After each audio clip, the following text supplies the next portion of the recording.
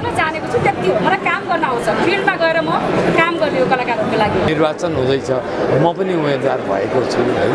अब यो कलाकारहरूको एउटा नियमित प्रक्रिया मान्छु म यसलाई अनि यो साधारण सभा अथवा अधिवेशन भनेको यो हाम्रो एउटा दसैँ जस्तो। सबैजनाको आशीर्वाद छ तर लड्नु त आफैले हो कसै पुचालेको अ, बाघले पुचालेको बिरालोले केही पनि बाँकी भन्छ हाम्रो मान्छे मार्दैन नि होइन हो यो वर्षमा एकपल्ट हुन्छ अनि यसमा हामी सह सहभागी भएर एक आपसमा अन्तर्क्रिया पनि गर्छौँ कि रेजिना रेजिनाको चाहिँ यस्तो नराम्रो छ भन्ने कुरा होइन अ, उहाँको पनि आफ्नो एजेन्डाहरू राम्रो छ तर मैले सोचेको एजेन्डा र मोहन दाईको एजेन्डा मिट भएकोले चाहिँ म मोहन दाईसँग गएको हिजोसम्म चाहिँ तर आज चाहिँ अब सम्पूर्ण नेपाली चलचित्र कलाकारहरूले जसलाई छान्नुहुन्छ लडाइँ आज जित्नको लागि पक्कै पनि मलाई साथ दिनुहुनेछ मलाई अत्यधिक बहुमतले मलाई जिताउनुहुनेछ भने मैले एकदम विश्वास गरेको छु यो चुनाव सकिसकेपछि त्यो सबै हटेर जान्छ। त्यो राष्ट्रिय चलचित्र नीति दुई हजार एकहत्तर निर्माण गरिएको छ आन्दोलन गरेका थियौँ हामीले चालिस पचास दिनसम्म। त्यो आन्दोलनको क्रममा राष्ट्रिय चलचित्र नीति बनाएका छौँ। त्यससँगै अहिले संविधानको मूल संविधान जो छ त्यो मूल संविधानमा चलचित्र भन्ने वाक्यांश नितान्त कलाकारसँगको मेरो नेतृत्वमा त्यो चाहिँ नि संविधानमै लेखाउन लागि हो त आज रेजिनाको लागि तपाईँले मत माग्दै हुनुहुन्छ हो? म दुबईको लागि माग्दैछु। दुबईको लागि माग्दैछु। यसरी त मिलेन नि त। यो त चिउरे कुरा भएन। होइन दुबईको लागि माग्दैछु। जो सक्षम हुनुहुन्छ भोलि अध्यक्षमा जो आए पनि मलाई राम्रो होइन। राम्रो मानोस् भन्ने तपाईँ तपाईँ मतदाता हुनुहुन्छ भने तपाईँले कुन चाहिँलाई मैले भनेको मान्छे तपाईँले राख्नुहुन्न? इकट्ठा भएर एकताबद्ध भएर यो चलचित्र निर्माणसँग अगाडि बढ्नुपर्छ। एउटा पूर्व अब निवर्तन अध्यक्षको हैसियतले अब आज म पूर्व अध्यक्ष भएछु। पूर्व अध्यक्षको हैसियतले मै शुभकामना दिन्छ। एक वर्षमा सयको हाराहारीमा चलचित्र बन्छन् मुस्किलले पाँचवटा चलचित्रले पैसा कमाउँछ। दसवटा चलचित्र एभरेजमा रहन्छन्। बाँकी त घाटामा गइरहेछन्। कलाकारको हक हित सुरक्षाको लागि अधिकारको लागि कलाकारको चाहिँ उत्थानको लागि कसले काम गर्छ र कसरी काम गर्छ भन्ने कुरासँग चाहिँ सम्बन्धित कुरा बढी इम्पोर्टेन्ट हुन्छ सदस्यज्यूहरूले मलाई निराश बनाउनुहुन्न यो लडाइँ आज जित्नको लागि पक्कै पनि मलाई साथ दिनुहुनेछ मलाई अत्यधिक बहुमतले मलाई जिताउनुहुनेछ भने मैले एकदम विश्वास गरेको छु रेजिनाजी जस्तै तपाईँलाई यो उम्मेदवारी फिर्ता लिनको लागि अलिकति दबावहरू पनि आयो भन्ने गाई गुई चाहिँ सुनिरहेको थियो। के हो यसको वास्तविकता बताइदिनु।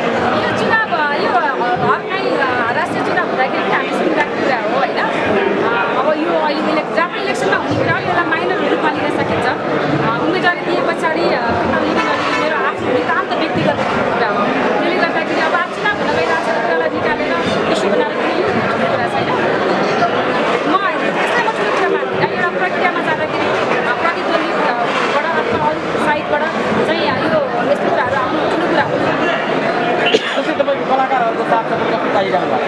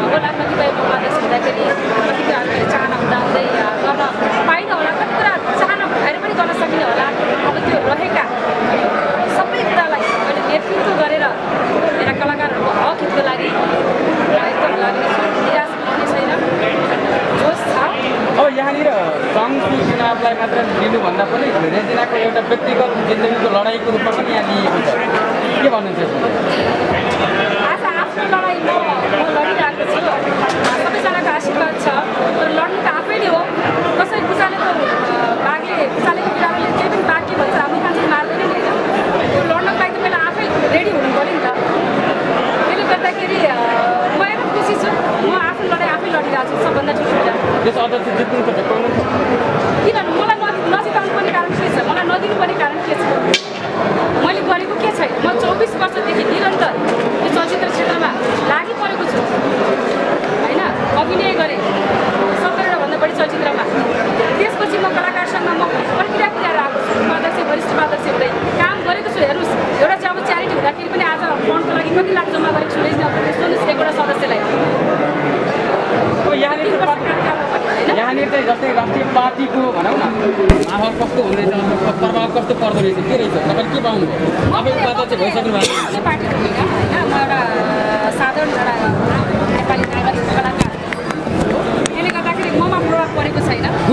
कि छैन भन्नु मेरोमा छैन। अब अरूले गरेको भए मलाई त्यो विषयमा अरू विषयमा म बोल्दिनँ किनभने मैले बोल्न पनि मिल्दैन। मेरोमा हामी सबै कलाकार छौँ। सबै चाहिँ निखारिएका। एकदम मैले अनुभव लिएर आएका कलाकारलाई लिएर मैले टिम बनाएको छु ममा त्यस्तो छैन त्यसले गर्दा अरूको विषयमा चाहिँ मेरो लागि एकदम कामना गरिदिनु अब यहाँ साधारण सभा भइरहेछ अब एक घन्टामा चाहिँ इलेक्सन सुरु हुन्छ एकदम प्रे गरिदिनु सम्पूर्ण मलाई माया गर्ने मेरा दर्शक मेरा के भन्छ आफन्त सबैजनाले आज के रिजल्ट आउँछ भनेर उहाँले एकदम लिएर बसिरहनु भएको छ त्यसले गर्दाखेरि म एकदम पोजिटिभ छु ममा कुनै लपन छुप्पन कुनै त्यस्तो केही छैन म एकदम सिधा सादा मान्छे हो। काम गर्न जानेको छु त्यति हो। मलाई काम गर्न आउँछ। फिल्डमा गएर म काम गर्ने हो कलाकारहरूको लागि। त्यति हो। थ्याङ्क यू अहिले मैले चाहिँ यसो बुझेको चाहिँ के छ भनेदेखि जसले राम्रो काम गर्न सक्छ जो कलाकार हो जसको भावना सङ्घप्रति स्वच्छ छ र जसले कलाकार र सङ्घलाई केही दिन सक्छ त्यस्तो व्यक्तिलाई उठाउनुपर्छ भन्ने चाहिँ मलाई लाग्छ। जस्तै कलाकारहरूभित्र पनि गुटबन्दी भयो पार्टीहरू हाबी भए भन्ने कुरा बाहिरिएको छ गाई गुई के हो यसको वास्तविकता?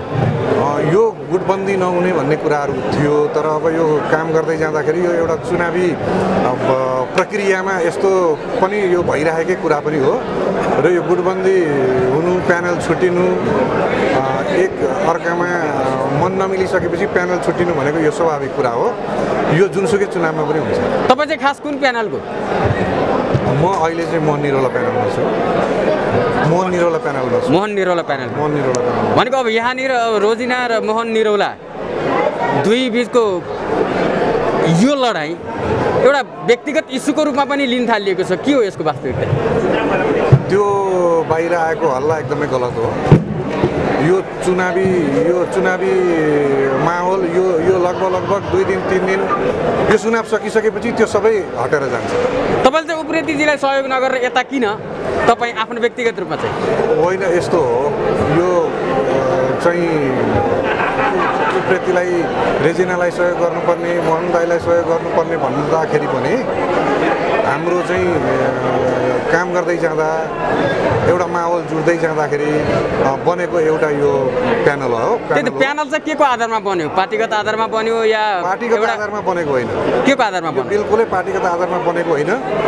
रेजिनाले पनि नछोड्ने मनदाईले पनि नछोड्ने भइसकेपछि यो आफै आफै एक किसिमको आफ्नो आफ्नो प्यानल बनाएर जाउँ न त भन्दाखेरि को को को ग्रुपमा बस्ने भन्ने कुराहरूमा सँगसँगै जोडिन गएको कुरा मात्रै हो। यो दुईवटा चाहिँ मन र विचार भइसकेपछि प्यानल बन्नु पनि स्वाभाविक हो र गुटबन्दी हुनु पनि यो चुनावसम्म यो यो साधारण प्रक्रिया हो। खालि यो प्रक्रियालाई ठुलो इस्यु नबनाइकन अब जितिसकेपछि या चाहिँ सङ्घको लागि कसले कति काम गर्छ कलाकारको हक हित सुरक्षाको लागि अधिकारको लागि कलाकारको चाहिँ उत्थानको लागि कसले काम गर्छ र कसरी काम गर्छ भन्ने कुरासँग चाहिँ सम्बन्धित कुरा बढी इम्पोर्टेन्ट हुन्छ। जस्तै चुनाव पछाडि तपाईँहरू हारेर यदि रेजिनाको प्यानलले जित्यो भने उहाँहरूलाई कतिको सहयोग गर्नुहुन्छ कि हुँदैन? बिल्कुल सहयोग हुन्छ एकदम धेरै धेरै सहयोग हुन्छ। यसमा यसमा एक पर्सेन्ट पनि कुनै मनमा तुस रहँदैन। जसले जिते पनि कलाकार सङ्घको हक हितको लागि नै हुनुपर्छ। वरिष्ठ कलाकार पनि हुनुहुन्छ। तपाईँले चाहिँ कसरी लिँदै हुनुहुन्छ? के हेर्दै हुनुहुन्छ तपाईँ? नै यसो आज हाम्रो यो अधिवेशन पनि हो उन्नाइसौँ अनि साधारण सभा पनि हो। त्यसपछि यो प्रक्रिया अन्तर्गत हामी निर्वाचनमा जानै पर्थ्यो। निर्वाचन हुँदैछ। म पनि उम्मेदवार भएको छु होइन? अब यो कलाकारहरूको एउटा नियमित प्रक्रिया मान्छु म यसलाई हो? अनि यो साधारण सभा अथवा अधिवेशन भनेको यो हाम्रो एउटा दसैँ जस्तो हो। वर्षमा एकपल्ट हुन्छ अनि यसमा हामी सह सहभागी भएर एक आपसमा अन्तर्क्रिया पनि गर्छौँ हुन त अन्तर्क्रियात्मक कार्यक्रम अरू बेला पनि गर्छौँ हामी तर यो चाहिँ सबै कलाकारहरू एक ठाउँमा भेला हुने एउटा भेला एउटा मेला नि भनौँ न यसलाई त्यो रूपमा हामी अगाडि बढिरहेको छौँ अब यहाँ चाहिँ दुईवटा प्यानल नै बनाएर चुनावमा जानुपर्ने त्यस्तो के थियो कलाकार सङ्घमा चाहिँ किन बन्यो यो माहौल चाहिँ यसो हो अब यो प्यानल नबन्न पनि सक्थ्यो। व्यक्ति व्यक्- व्यक्तिगत रूपमा उम्मेदवार हुन पनि सक्थ्यो।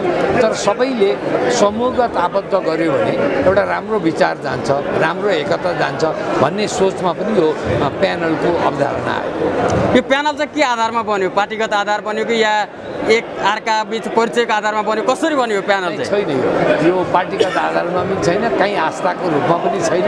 यो एक आपसमा वर्गीय हितका लागि वर्गीय सुरक्षाका लागि आबद्ध हुने कलाकारहरू सोच राखेका कलाकारहरू एक ठाउँमा आए अनि प्यानल जस्तै तपाईँको आफ्नो प्यानलमा हजुर। कस्ता किसिमका सदस्यहरू हुनुहुन्छ को को हुनुहुन्छ कस्ता सदस्यलाई चाहिँ समेट्नु भएको छ के छ? नै सबै चलचित्र क्षेत्रका ख्यातिप्राप्त व्यक्तित्वहरू पनि हुनुहुन्छ। युवा हुनुहुन्छ महिलाहरू हुनुहुन्छ सबै खालका कुरो एउटा समावेशी छ हाम्रो। अब रोजिना उप्रेती रेजिना उप्रेती र तपाईँहरूको प्यानल फरक प्यानल हजुर। एउटै प्यानल कि फरक प्यानल फरक। फरक फरक भयो अध्यक्ष ओके र जस्तै भन्दै गर्दाखेरि मन निरौला भनेको एकदम वरिष्ठ र मन निरौला भनेको व्यक्ति यस्तो हो कि जहाँ कि चलचित्र कलाकार सङ्घ होइन विकास बोर्डको अध्यक्ष उठ्ने योग्य भएको व्यक्ति। यो चलचित्र कलाकार सङ्घमा चाहिँ किन उठेको होला भन्ने कतिपय कुराहरू पनि आइरहेको छ यसो विकास बोर्डमा नियुक्ति पाउनको लागि राजनीतिक आस्थाको रूपमा अगाडि बढेको हुनुपर्छ। म राजनीतिक आस्थाको रूपमा अगाडि छुइनँ। म खालि पेसागत आस्था हो। मेरो धर्म चलचित्र क्षेत्र हो। मेरो धर्म मेरो पेसा हो।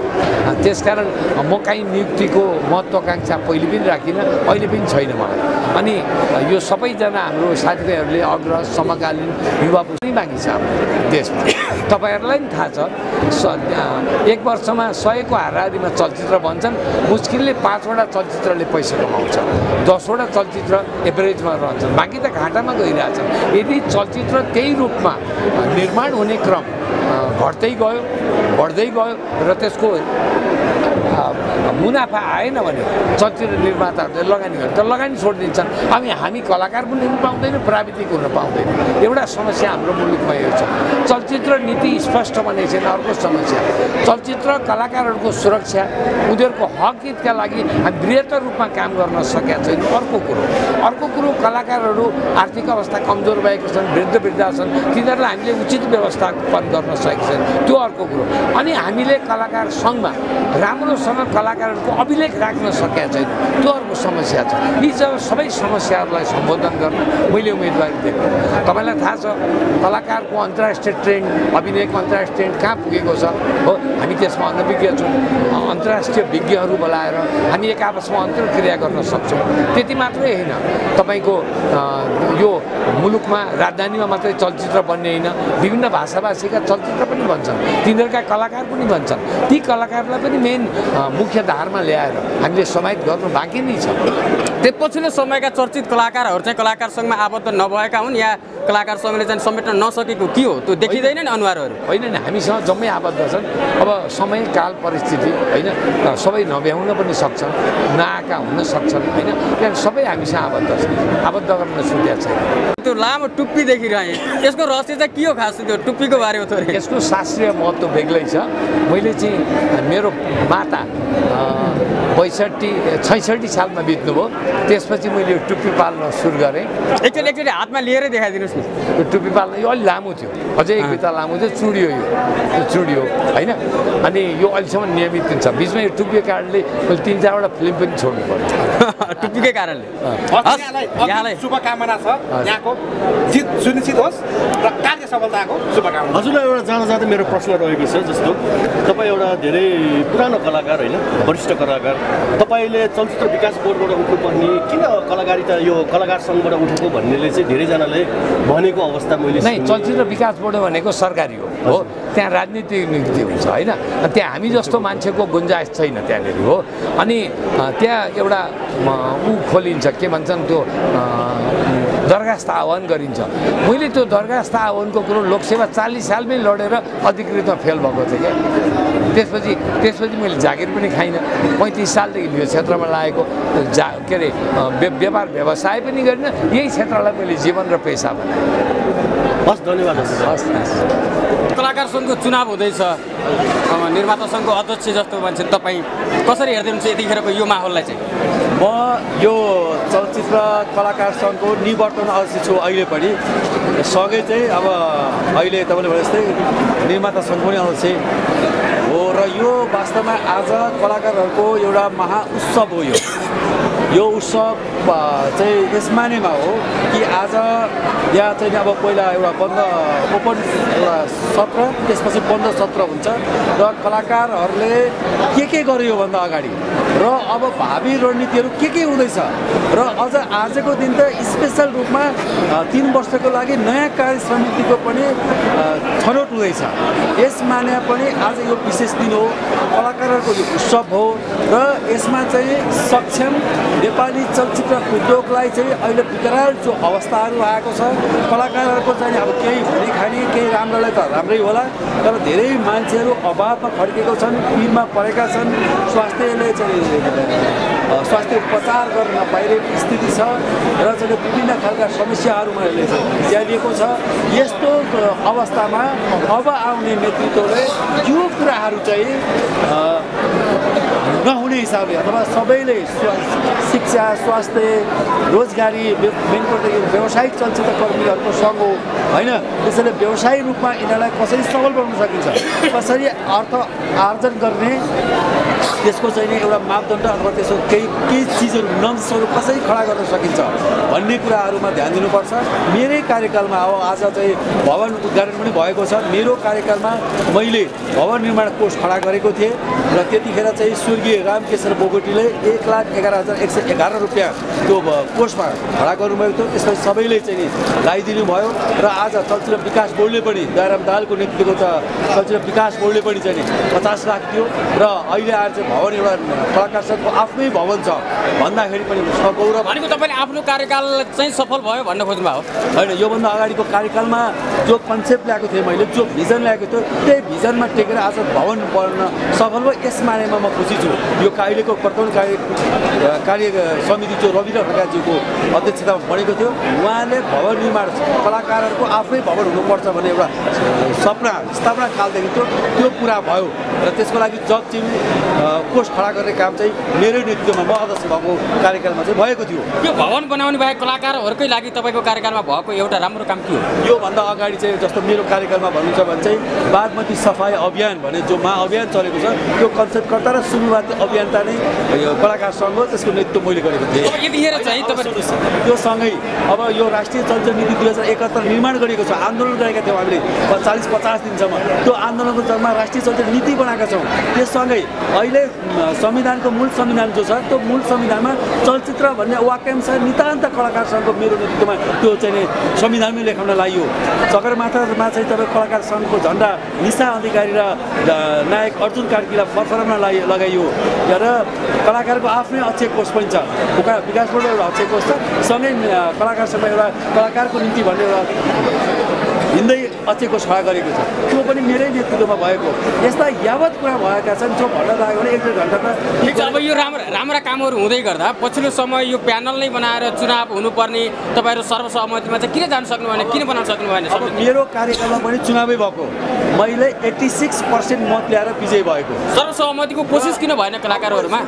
मैले एट्टी सिक्स पर्सेन्ट मत ल्याउँदै गर्दा हेर्दा सर्वसम्मत हुन सकेन भने अहिले अब यो हो कि त्यो भने बा भयङ्कर कन्फ्युज भइरहेको अवस्थामा सर्वसम्मत प्रयास भयो हामीले गऱ्यौँ तर अब कोही पनि टसमस नभएपछि अब प्रजातान्त्रिक यो युगमा सबैभन्दा सुनौलो पक्ष स्वर्णिम पक्ष भनेको यो चाहिँ चुनाव नै हो प्रजातन्त्रको चाहिँ एउटा मतलब ड्युटी भनेको होइन? त्यस कारणले गर्दा अब यही पद्धतिमा जाने। अब हामीले अहिले मत विभाजन गरौँ र जसले जिते पनि हामीले मन चाहिँ विभाजन नगरौँ। एकट्ठा भएर एकताबद्ध भएर यो चलचित्र निर्माणसँग अगाडि बढ्नुपर्छ। एउटा पूर्व अब निवर्तन अध्यक्षको हैसियतले अब आज म पूर्व अध्यक्ष भइसु पूर्व अध्यक्षको हैसियतले म शुभकामना दिन्छु। सबिनजी अब महासचिव पदको उम्मेद्वार हुनुहुँदो रहेछ। कुन प्यानलको तपाईँ नेपाली चलचित्र कलाकार सङ्घको प्यानलको। अब यहाँ त दुईवटा प्यानल छ नि त। यो यो प्यानल त्यो प्यानल हिजोसम्म हो होइन? तर आज चाहिँ सम्पूर्ण नेपाली चलचित्र कलाकार सङ्घको लागि चाहिँ त्यो प्यानल भनौँ न अहिलेको लागि चाहिँ। होइन अब तपाईँले भन्नुपर्दा तपाईँले अध्यक्ष चाहिँ कसलाई मान्ने हो त नि? तपाईँको अध्यक्ष को हो? मेरो भन्दाखेरि पनि अब आजको निर्णयले जसलाई अध्यक्ष चुन्छ म त्यसलाई अध्यक्ष स्वीकार्छु। भनेको दुवै पक्षको तपाईँ भन्नु पऱ्यो दुवै राम्रो छ। त्यही तपाईँले महासचिव पदको लागि उम्मेदवार दिँदै गर्दा त एउटा प्यानल त रोज्नु भयो। हजुर। कुन प्यानल मोहन निरौला मोहन निरौला प्यानल मोहन निरौला यो होइन कि रेजिना रेजिनाको चाहिँ यस्तो नराम्रो छ भन्ने कुरा होइन। उहाँको पनि आफ्नो एजेन्डाहरू राम्रो छ। तर मैले सोचेको एजेन्डा र मोहन दाईको एजेन्डा मिट भएकोले चाहिँ म मोहन दाईसँग गएको हिजोसम्म चाहिँ। तर आज चाहिँ अब सम्पूर्ण नेपाली चलचित्र कलाकारहरूले जसलाई छान्नुहुन्छ योग्य त्यो नै मेरो अध्यक्ष हुन्छ भन्न खोजेको आज रेजिनाको लागि तपाईँले मत माग्दै हुनुहुन्छ म दुबईको लागि माग्दैछु। दुबईको लागि माग्दैछु। यसरी त मिलेन नि त। यो त चिउरे कुरा भयो नि। होइन दुबईको लागि माग्दैछु। जो सक्षम हुनुहुन्छ भोलि अध्यक्षमा जो आए पनि मलाई राम्रो। राम्रो मानोस् भन्ने तपाईँ तपाईँ मतदाता हुनुहुन्छ भने तपाईँले कुन चाहिँलाई मैले भनेको मान्छे तपाईँले राख्नुहुन्न। तपाईँले स्वविवेकले त राख्नुहुन्छ नि त। मैले सबैले त्यही भनेको तपाईँ स्वविवेक प्रयोग गरेर चाहिँ म- मतदान दिनु होला भन्छु। चाहे त्यो मेरै केसमा पनि किन होस् किनकि मेरै केसमा पनि पाँचजना हामी उम्मेदवार छौँ। होइन? मलाई नै दिन्छु मलाई नै दिनुपर्छ भन्ने जरुरी छैन। तपाईँको स्वविवेकले कुन चाहिँ उम्मेदवार ठिक हुन्छ होइन? कुन चाहिँ उम्मेदवारले चाहिँ सङ्घलाई राम्रो गर्छ त्यो सोचेर चाहिँ मत दिनु होला भन्ने चाहिँ अनुरोध छ मेरो चाहिँ। अब तपाईँहरूले जित्नुभयो भने तपाईँको प्यानल मोहन निरौलाको प्यानलले जित्नुभयो भने फरक काम यो गर्छौँ भन्ने के छ? अरू चाहिँ ठुलो कुरा गर्दैन। हामी फरक काम केही पनि गर्दैनौँ। जुन भइरहेको छ जुन काम स्थगित छ जुन काम रोकिरहेको छ त्यसलाई चाहिँ तीव्र गतिमा चाहिँ अगाडि बढाउँछौँ र त्यो सँगसँगै अरू एक्स्ट्रा के हुन्छ? चलचित्र सङ्घको लागि सङ्घको थ्रुबाट चाहिँ कलाकारहरूको लागि उसको कलाकारको फ्यामिलीको लागि के हुन्छ? यसमा थप कार्य चाहिँ हुन्छ। अब तपाईँले अब दुवै पक्षको म भन्नुभयो होइन चुनाव हुँदैछ। लाग्छ तपाईँहरूले जित्नुहुन्छ तपाईँको प्यानलले। मोहन निरौलाको प्यानलले जित्ला। मैले दुबईलाई शुभकामना दिएको छु। जो जति पनि सङ्घलाई राम्रो गरोस् होइन? आफूको लागि भन्दा पनि सङ्घ र सङ्घको थ्रुबाट कलाकारको लागि गरोस् भन्ने चाहिँ इच्छा छ मेरो चाहिँ। तर कलाकारहरू सङ्घले चाहिँ नि पछिल्लो समयका जो चर्चित कलाकारहरू छन् उनीहरूलाई चाहिँ समेट्न नसकेको हो या उनीहरू नआएका हुन् उनीहरू चाहिँ नि साँच्चीकै ठुलो पल्टिएका हुन् के हो अवस्था यो? यसो ठुलो पल्टिने जस्तो केही होइन काम व्यस्तताले पनि हो उहाँहरू बिजी पनि हुनुहुन्छ नि त त्यो पनि हो। अनि अर्को कुरा म त त्यो सङ्घप्रति उहाँहरूको एकदम आस्था छ। होइन यो आस्थालाई अझै जोगाउँ भनेर नै हामी लागि परेका हौँ र उहाँको यो आस्थालाई चाहिँ हामी सधैँ राख्छौँ। तर यो आस्था छ भन्दै गर्दा धेरै कलाकारहरूको मुखबाट के सुनिन्छ भने सङ्घले के नै पो गरेको छ र हाम्रो लागि? कलाकारको लागि वास्तविक काम के गर्यो र? धेरै चिज गरेको छ। धेरै चिज गरेको छ तर त्यो हामीले चाहिँ सङ्घले भनौँ मैले कलाकारकै लागि भएको एउटा राम्रो काम? त्यही त भनिरहेको छु।